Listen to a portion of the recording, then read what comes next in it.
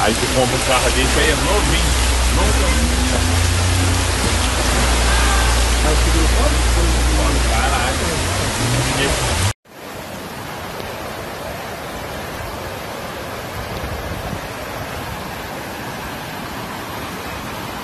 What it is.